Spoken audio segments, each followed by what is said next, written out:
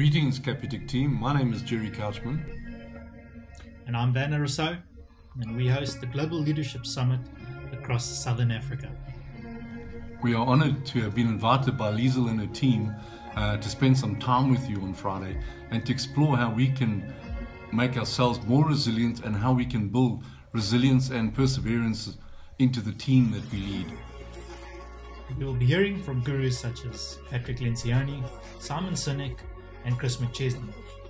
In addition, we'll be hearing from a US Air Force colonel who now heads up two F 16 squadrons in northern Italy, who will give us a glimpse of their theories in practice.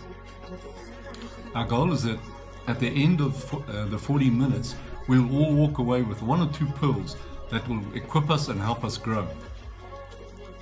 Have a great week, keep safe, and we look forward to sharing the session with you on Friday.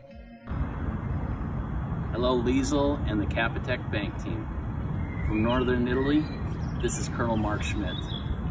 Just want to say thank you. Thank you for leading people in a way that is profound and wonderful and a witness. I hope you find the video useful. Have a great day.